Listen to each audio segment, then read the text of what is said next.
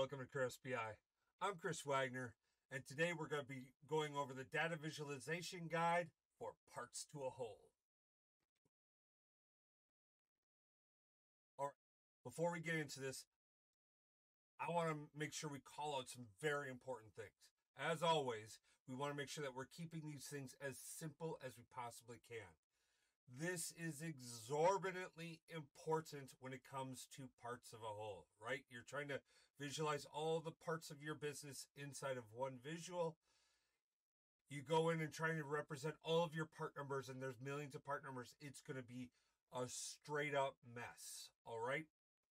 Your goal is to strive to have maybe two to five items when we're talking about comparing parts of a whole. Anything beyond that, and it just turns into noise that people are not going to be able to understand understand right? So if you have more than that if you're if it's more than two to five you know look at how you could either create a, a drill in capability right?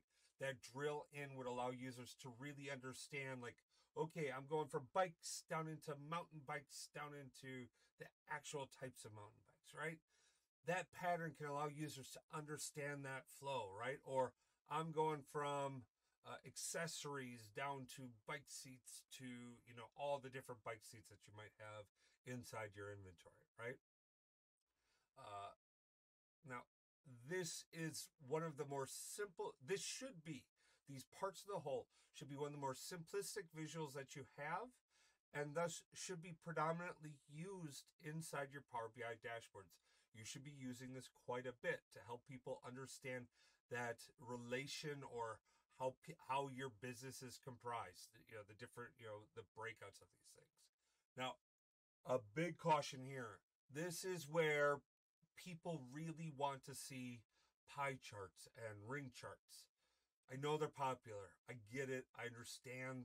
They look really nice. They look really cool. Uh, but if you really have more than that two to five mark in there, they're just noise. Please find another visual. Look at a bar chart. Look at a column chart. Look at a matrix. Something other than, than that pie chart or the ring chart. It's just because it's too hard for users to get in and understand them. All right. So please, please, please don't go heavy on uh, the, the, the pie or the ring charts. All right. Um, I know Apple loves them all over the place, but just don't. They're wrong. All right, let's head over to the data visualization style guide and let's go take a look at this. All right, as always, uh, our, our, style guide is designed to be deployed out into the Power BI service. So uh, there are buttons that invisible buttons that sit over each one of these. If you're not familiar with how you can do this, it's a real simple function that you can do by uh, cr creating a, you just insert a button blank button. Put it over what you want for your navigation. Make sure all your other buttons, your formatting buttons are off. Turn your action to on. Do a type to a a page navigation and then define it to a part, you know, where you want it to go. All right. Um, please note these can be functions, so you can calculate these if necessary. But that's a whole nother video. Let's go take a look at parts of the whole. All right, as we navigate in, uh, we could see some, uh, you know, these are the primary parts of the whole that we should be looking at, right? So if we're looking at things and we need to break them out, the stack bar chart, cluster column chart, you know, uh, these are, you know, these are the visuals you should really be looking at when it comes to amounts breaking out. If you're talking about percentages of your business, this is where you go to your 100% stack bar or column chart.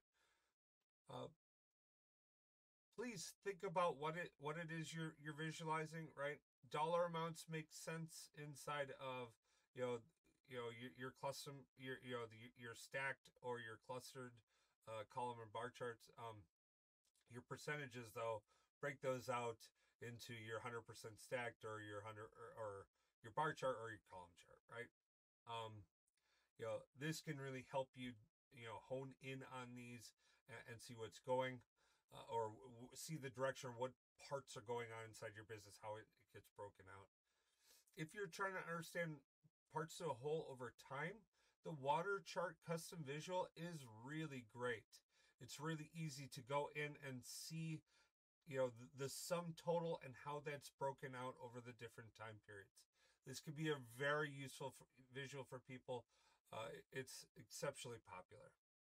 Now, when you start to get, you know, wanting to add a little more variety or spice in, then you can start to look at, you know, using, you know, your combo chart. Kind of mentioned this in the last video, how powerful this can be when it comes to adding in uh, a dollar amount breakout and then a percentage. This is very useful.